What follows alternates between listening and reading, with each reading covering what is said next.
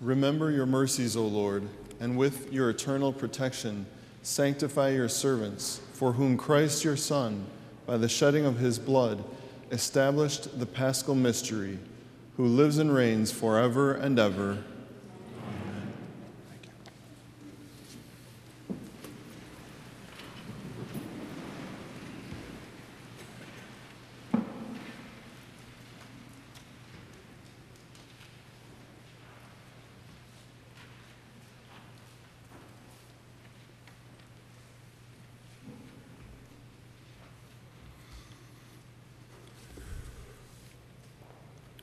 A reading from the book of the prophet Isaiah. See, my servant shall prosper. He shall be raised high and greatly exalted, even as many were amazed at him. So marred was his look beyond human semblance, and his appearance beyond that of the sons of man. So shall he startle many nations. Because of him, kings shall stand speechless. For those who have not been told shall see, and those who have not heard shall ponder it. Who would believe what we have heard? To whom has the arm of the Lord been revealed? He grew up like a sapling before him, like a shoot from the parched earth. There was in him no stately bearing to make us look at him, nor appearance that would attract us to him. He was spurned and avoided by people a man of suffering, accustomed to infirmity, one of those from whom people hide their faces, spurned, and we held him in no esteem. Yet it was our infirmities that he bore, our sufferings that he endured, while we thought of him as stricken, as one smitten by God and afflicted. But he was pierced for our offenses, crushed for our sins. Upon him was the chastisement that makes us whole. By his stripes we were healed. We had all gone astray like sheep, each following his own way, but the Lord laid upon him the guilt of us all. Though he was harshly treated, he submitted and opened not his mouth. Like a lamb led to the slaughter, or a sheep before the shearers, he was silent and opened not his mouth. Oppressed and condemned, he was taken away. And who would have thought any more of his destiny? When he was cut off from the land of the living and smitten for the sin of his people, a grave was assigned to him among the wicked, and a burial place with evildoers. Though he had done no wrong, nor spoken any falsehood, but the Lord was pleased to crush him in infirmity. If he gives his life as an offering for sin, he shall see his descendants in a long life, and the will of the Lord shall be accomplished through him. Because of his affliction, he shall see the light in fullness of days. Through his suffering, my servant shall justify many, and their guilt he shall bear. Therefore, I will give him his portion among the great, and he shall divide the spoils with the mighty, because he surrendered himself to death and was counted among the wicked. And he shall take away the sins of many and win pardon for their offenses. The word of the Lord. in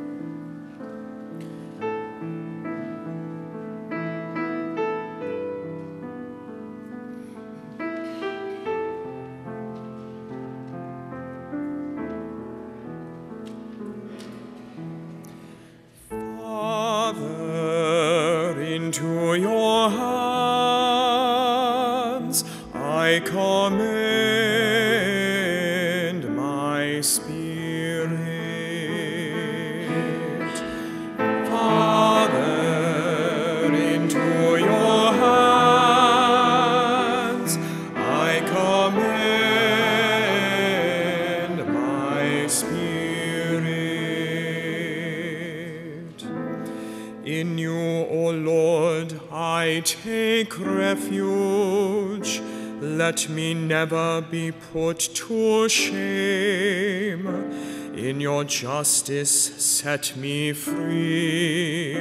Into your hands I commend my spirit.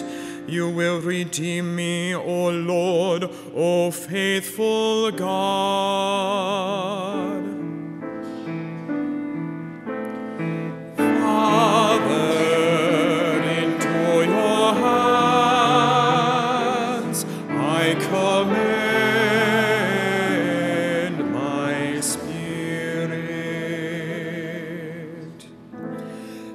Because of all my foes, I have become a reproach, an object of scorn to my neighbors and of fear to my friends. Those who see me in the street flee from me. I am forgotten like someone dead, and have become like a broken vessel.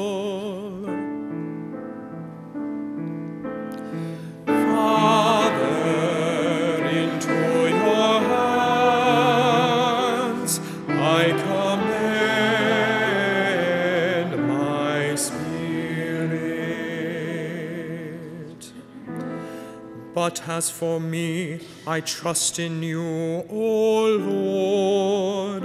I say, You are my God. My lot is in your hands. Deliver me from the hands of my enemies and those who pursue me.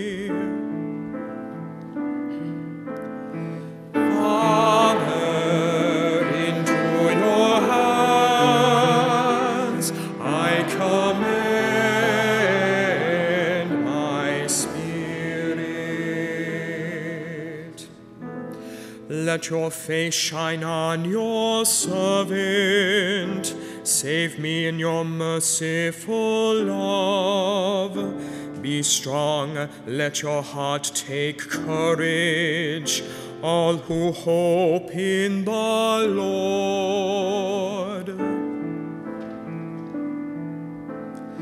Father,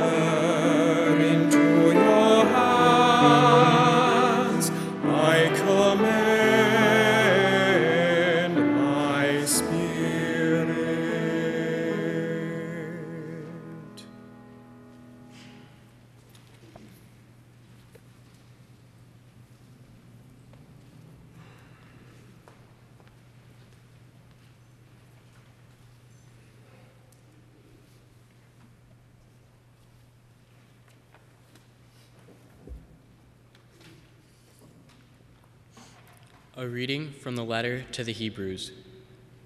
Brothers and sisters, since we have a great high priest who passed through the heavens, Jesus, the Son of God, let us hold fast to our confession. For we do not have a high priest who is unable to sympathize with our weaknesses, but one who has similarly been tested in every way, yet without sin. So let us confidently approach the throne of grace to receive mercy and to find grace for timely help. In the days when Christ was in the flesh, he offered prayers and supplications with loud cries and tears to the one who was able to save him from death, and he was heard because of his reverence. Son though he was, he learned obedience from what he suffered. And when he was made perfect, he became the source of eternal salvation for all who obey him. The word of the Lord.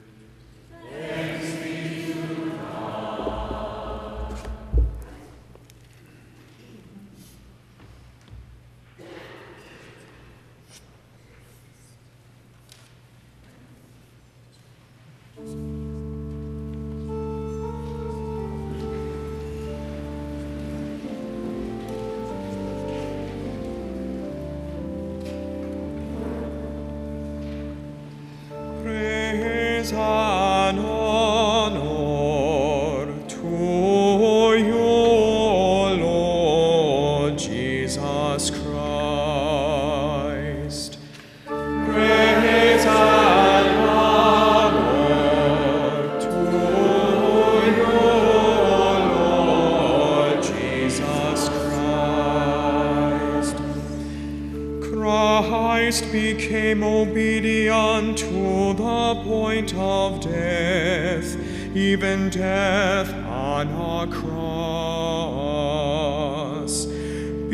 Because of this, God greatly exalted him and bestowed on him the name which is above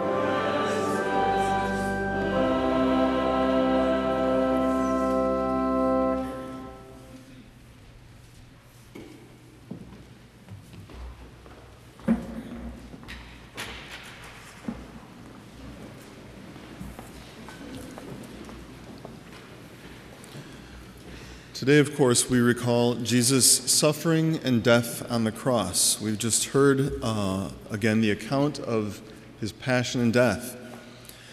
And we all know that suffering is a part of life, it's a part of the human condition. Whether we like it or not, every one of us experiences suffering. And it's one of the biggest questions of our human existence, if not the biggest question. And it's also one of the biggest reasons, if not the biggest reason, why some people reject belief in God. They might say, for example, if there is a God, why would he permit so much meaningless suffering in the world? Or on a more personal level, they might say, why would God let me suffer so much? Why would God take my child or my spouse? Or why would God give me cancer? And so on and so on. These kind of questions that cause people to doubt. And from the beginning, humanity has struggled to produce an acceptable answer.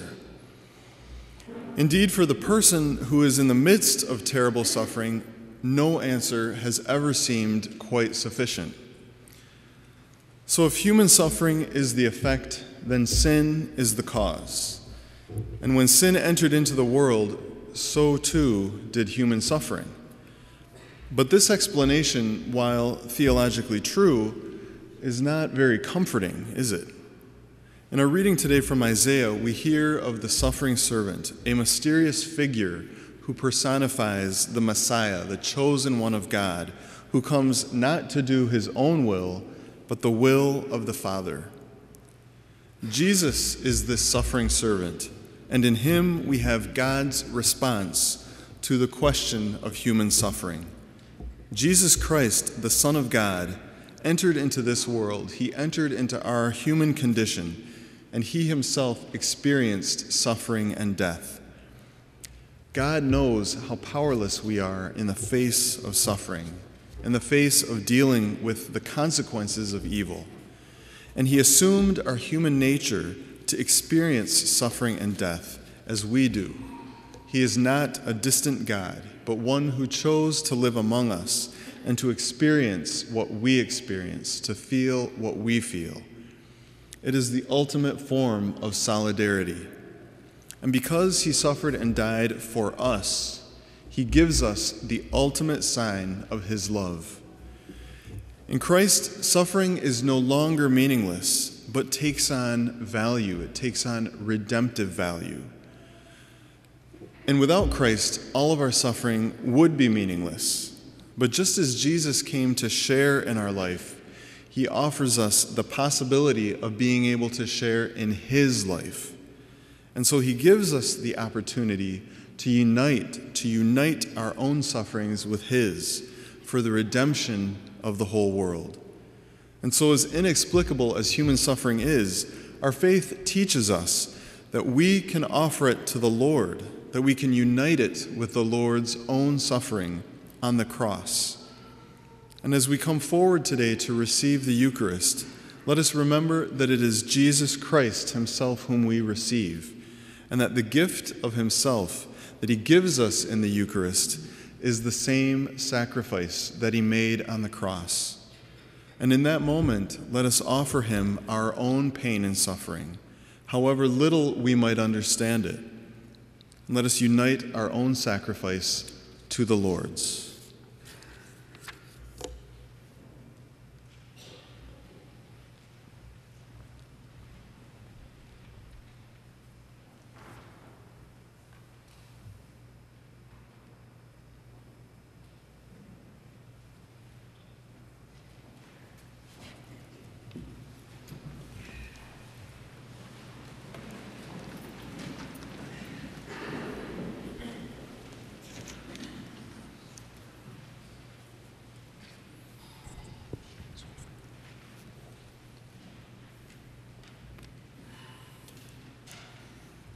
Let us pray, dearly beloved, for the holy church of God, that our God and Lord be pleased to give her peace, to guard her, and to unite her throughout the whole world, and grant that, leading our life in tranquility and quiet, we may glorify God the Father Almighty.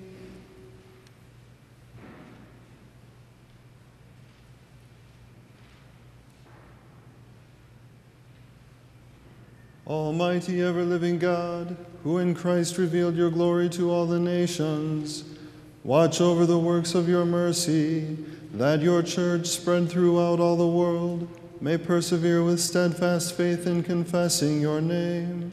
Through Christ our Lord.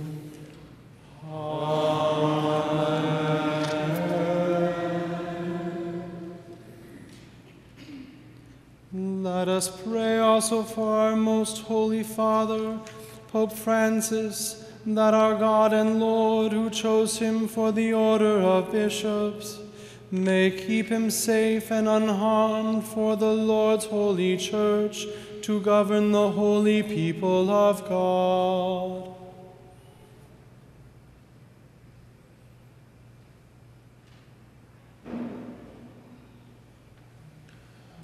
Almighty ever living God, by whose decree all things are founded, look with favor on our prayers, and in your kindness protect the Pope chosen for us, that under him the Christian people, governed by you their Maker, may grow in merit by reason of their faith.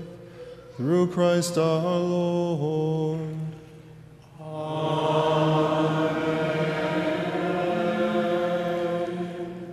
Let us pray also for our Bishop David, for all bishops, priests, and deacons of the church, and for the whole of the faithful people.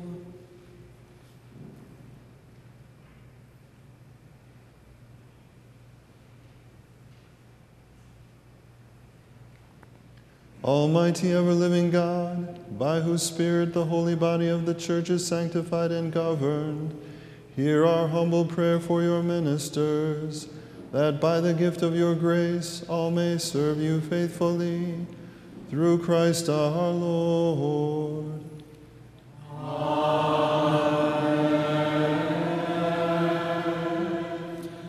Let us pray also for our catechumens, that our God and Lord may open wide the ears of their inmost hearts and unlock the gates of his mercy, that having, having received forgiveness of their sins through the waters of rebirth, they too may be one with Christ Jesus our Lord.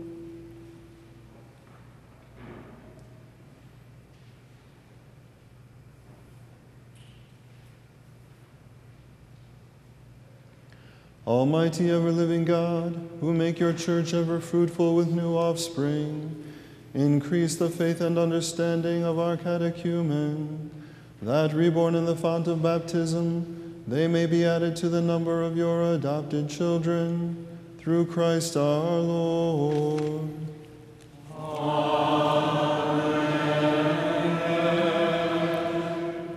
Let us pray also for our brothers and sisters who believe in Christ, that our God and Lord may be pleased, as they live in truth, to gather them together and keep them in his one church.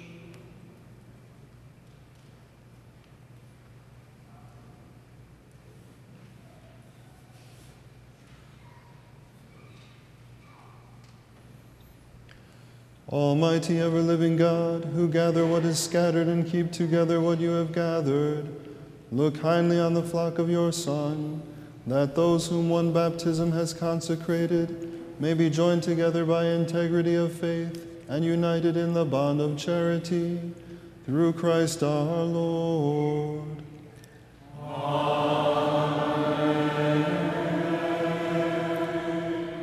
Let us pray also for the Jewish people, to whom the Lord our God spoke first, that he may grant them to advance in love of his name and in faithfulness to his covenant.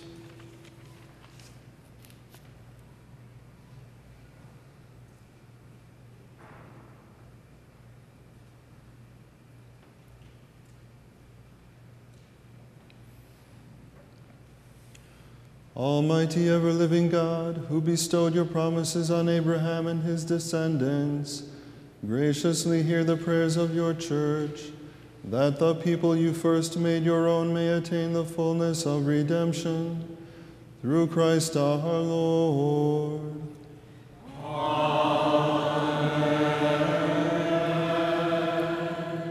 Let us pray also for those who do not believe in Christ, that enlightened by the Holy Spirit, they too may enter on the way of salvation.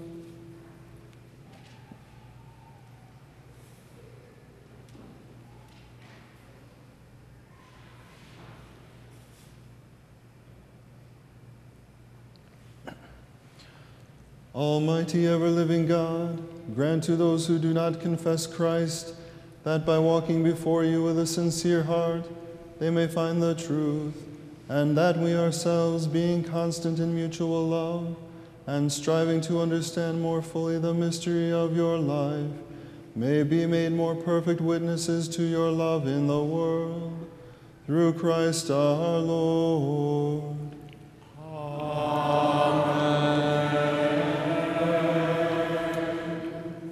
Let us pray also for those who do not acknowledge God, that following what is right with sincerity of heart, they may find the way to God Himself.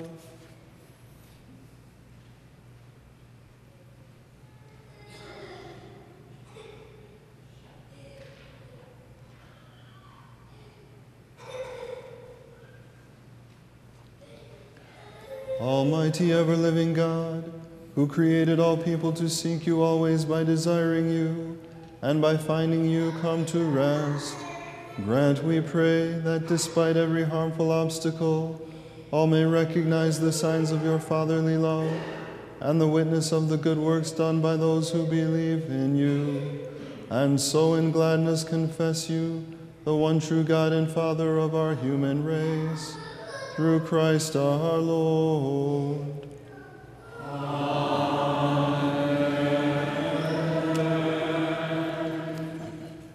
Let us pray also for those in public office, that our Lord and God may direct their minds and hearts according to his will, for the true peace and freedom of all.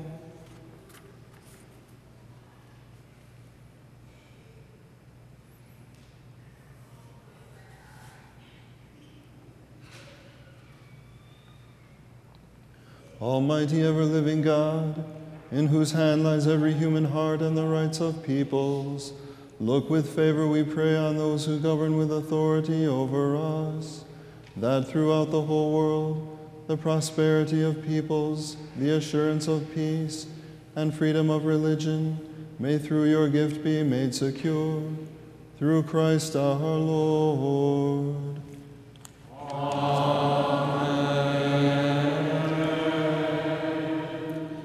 Let us pray, dearly beloved, to God the Father Almighty, that he may cleanse the world of all errors, banish disease, drive out hunger, unlock prisons, loosen fetters, granting safe granting to travelers safety, to pilgrims return, health to the sick, and salvation to the dying.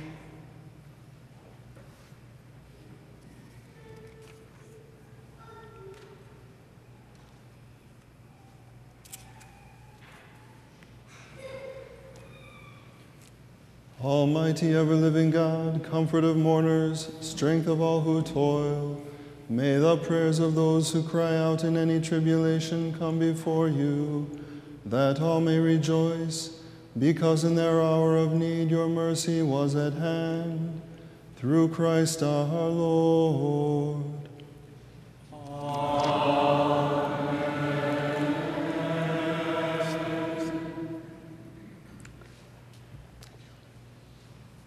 Please be seated.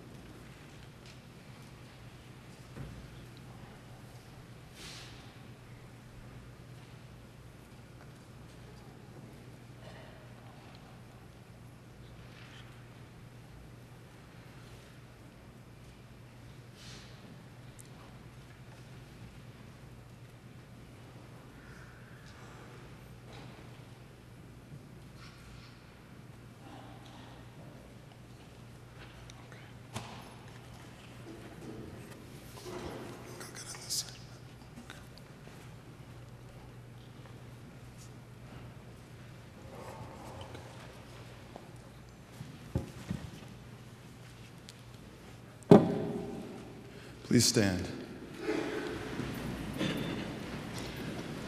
Behold the wood of the cross on which hung the Savior of the world.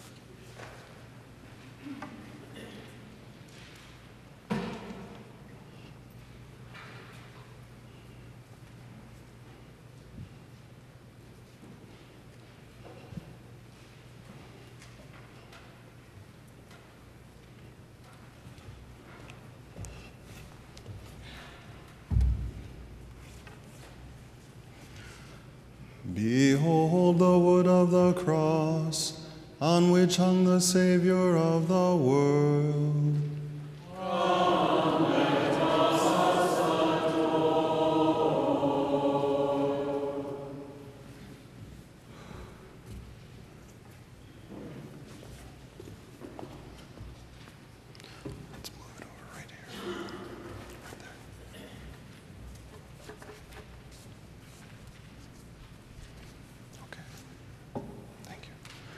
this time, I invite you to come forward to venerate the cross as you, in the way that you desire.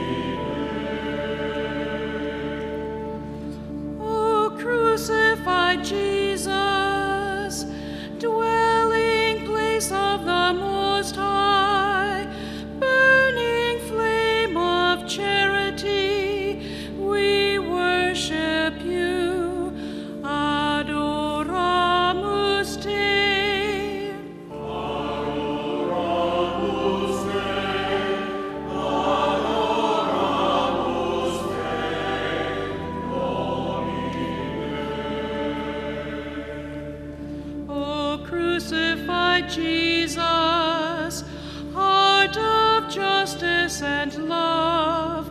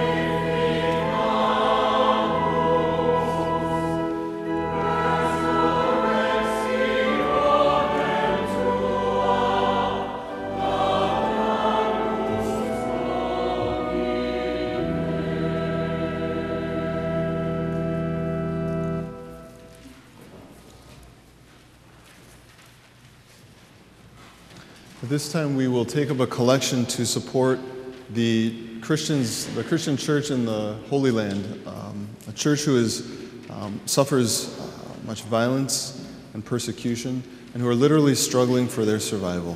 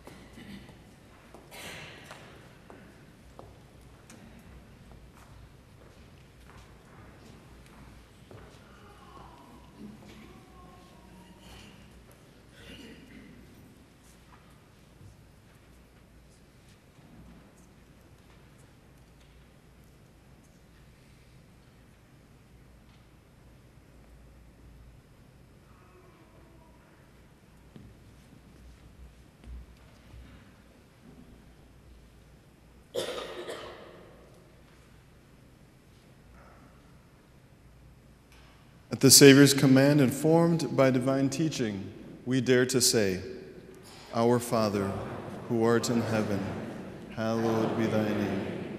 Thy kingdom come, thy will be done, on earth as it is in heaven. Give us this day our daily bread, and forgive us our trespasses, as we forgive those who trespass against us. And lead us not into temptation, but deliver us from evil. Deliver us, Lord, we pray, from every evil.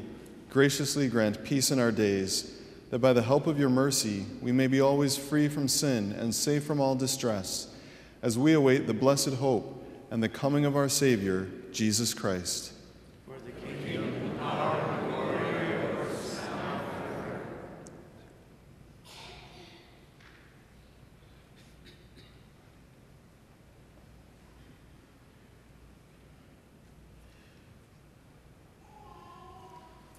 Behold the Lamb of God. Behold him who takes away the sins of the world. Blessed are those called to the supper of the Lamb. Lord, I am not worthy that you should enter under my roof, but only say the word, and my soul shall be healed.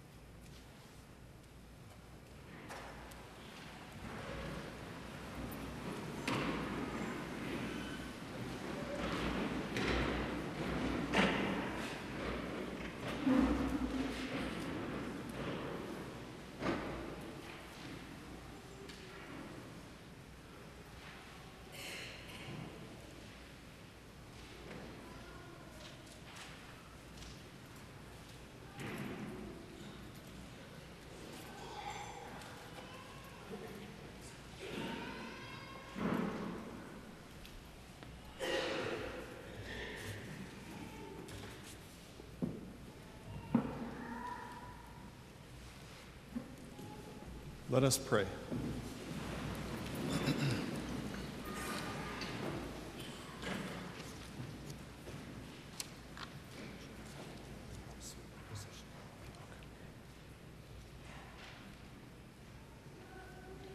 Almighty ever living God, who have restored us to life by the blessed death and resurrection of your Christ, preserve in us the work of your mercy, that by partaking of this mystery we may have a life unceasingly devoted to you. Through Christ our Lord. Amen. Bow down for the blessing. May abundant blessing, O Lord, we pray, descend upon your people who have honored the death of your Son in the hope of their resurrection. May pardon come, comfort be given, holy faith increase, and everlasting redemption be made secure. Through Christ our Lord. Amen.